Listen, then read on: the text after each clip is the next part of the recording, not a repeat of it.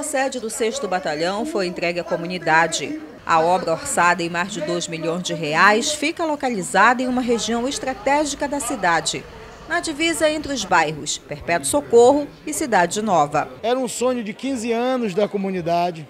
O 6 Batalhão tem uma vertente é, do policiamento comunitário muito forte, a aproximação com a sociedade, serviços sociais, serviços comunitários e com certeza absoluta é, o empenho da nossa bancada federal, representados pela nossa coordenadora, a deputada Aline Gurgel, na minha presença também no Senado, a gente fica muito feliz de fazer essas entregas. Depois da cerimônia de entrega do novo prédio, governador, parlamentares, autoridades e militares fizeram uma visita às dependências do novo batalhão. Isso aqui é a união do governo do estado, da Assembleia Legislativa, da bancada federal, é, dos nossos servidores públicos, civis e militares, sob a liderança dos comandantes, dos secretários e, sobretudo, da comunidade que é beneficiária direta desse investimento.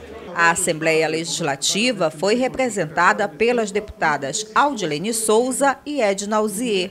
A nova sede do batalhão era uma reivindicação antiga da Casa de Leis. Estar aqui hoje representa uma satisfação de uma demanda atendida com os nossos requerimentos como parlamentar. Parabenizar o governador Valdez, todo o secretário e principalmente a comunidade que recebe esse sexto batalhão todo reformado, todo equipado e com certeza conte com o nosso apoio, estaremos sempre de mão dada com a população.